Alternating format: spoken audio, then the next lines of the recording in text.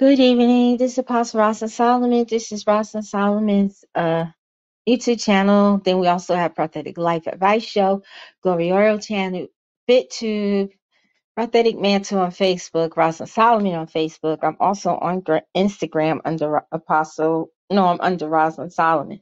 My prophetic blog is www.get-to-heaven.com. Prayer blog is prophetessrosalindsolomon.blogspot.com. You can also go to the middle right on both blogs and see the PayPal if you want to a seed, or become a partner.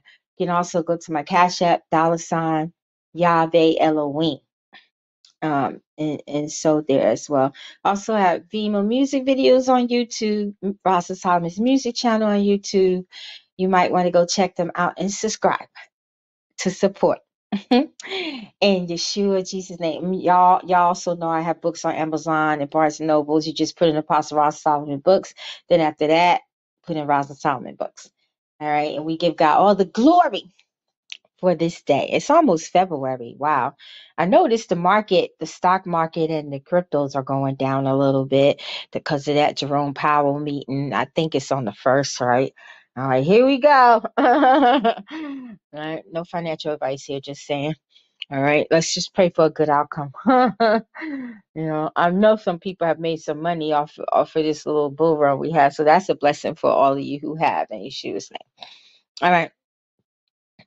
Now, I have a lot of stuff to tell y'all, but I'm saving most of it for tomorrow. I will be coming on tomorrow on this channel or either Prophetic Life Advice Show channel or Facebook. I'm not sure, but just look for me before 11 o'clock on this channel or Prophetic Life Advice Show or Facebook. but I'm going to tell you, um, I fell asleep this afternoon.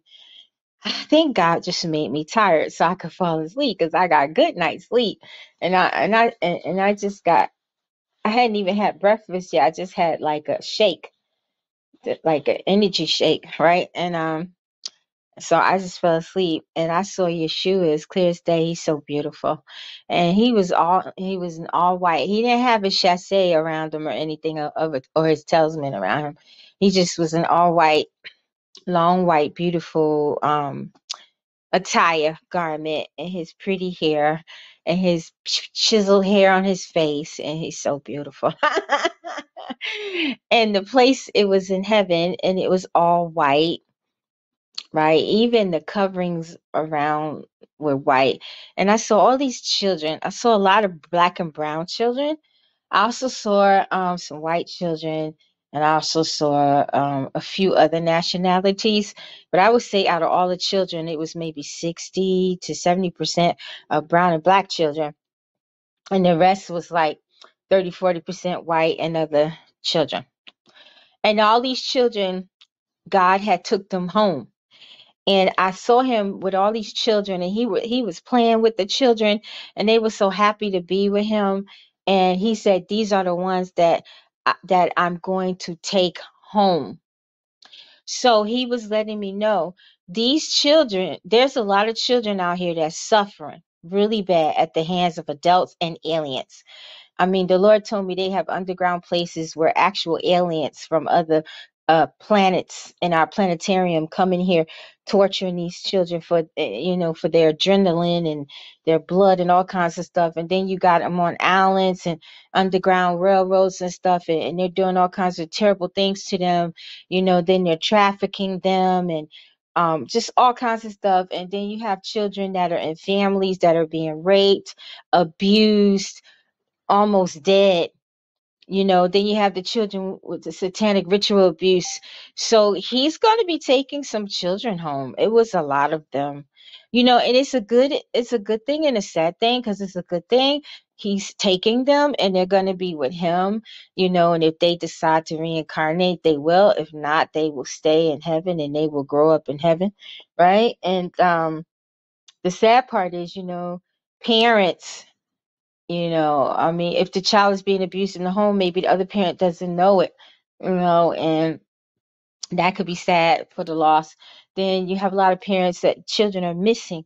They don't know where they are, you know, and for them to die in this life, that means the parents will never see them again in this life, and they and they may not never know, You know, so uh, when I saw that, I prayed and I, I said, I asked y'all to give the parents closure as many as possible to let them know, you know, what happened to the child, let their bodies be found or something about them be found, or maybe you can visit them in their sleep if they're open to you like that, and you can let them know. Because there's a lot of parents out here suffering right now from missing children.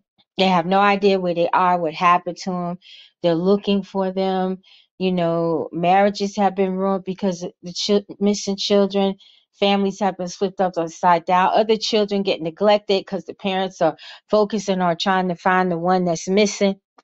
You know um, a missing child brings all kinds of things. Some some people kill themselves because their child is missing. Some people die of grief and agony you know um, some people never have children again you know and then when people and their families find out their child has been abused it, it, it- divorce can come you know um all th- all kinds of things can come because the, the little brother could be abusing the sister I mean, these defiling demons are everywhere, and, and so many people.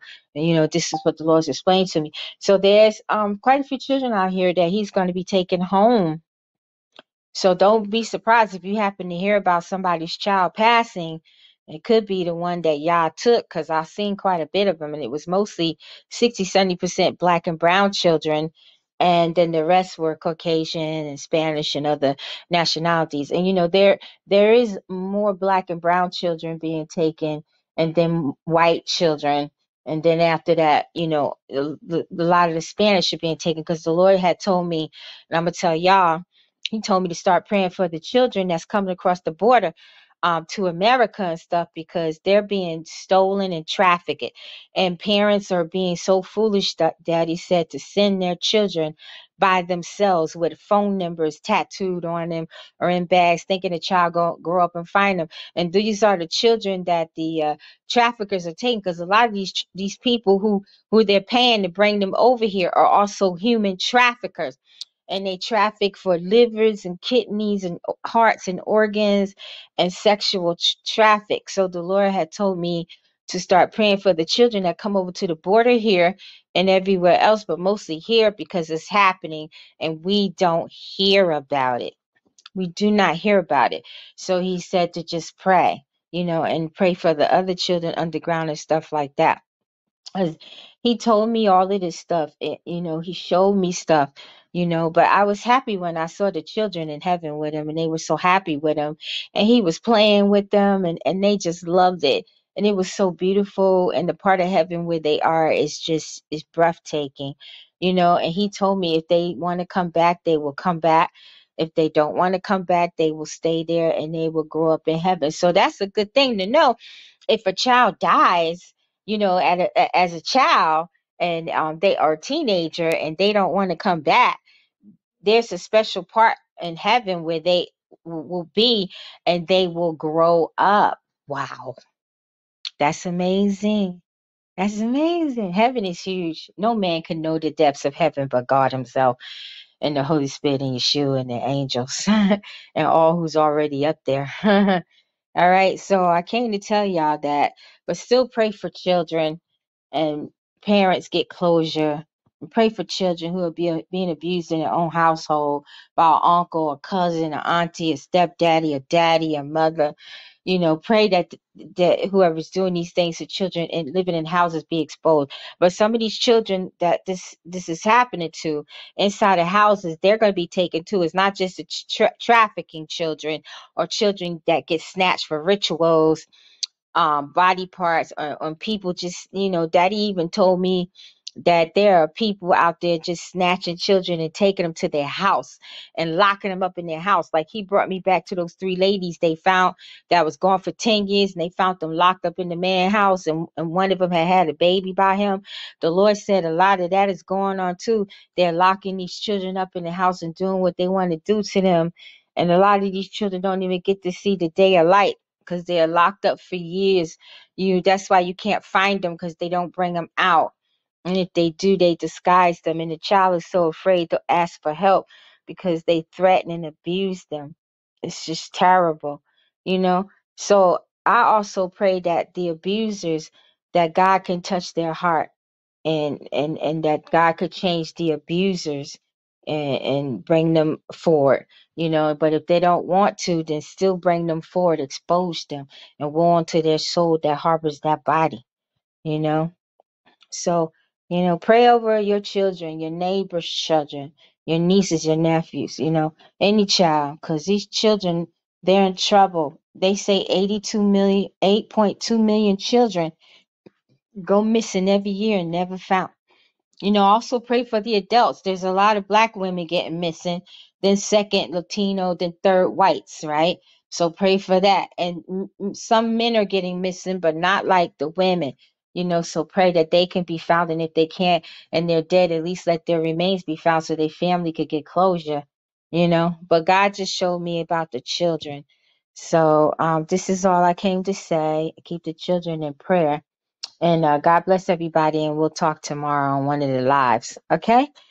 And I cover this with the blood of Yeshua and the fire of the Holy Spirit, and no one will get attacked, including me, for this prayer, or anything to do with us in Yeshua's name. If so, it's canceled and be reversed right back to the person. And thank you that the angels are all around us and protecting us in the hedge of protection and the blood of Yeshua Mashiach. Shalom.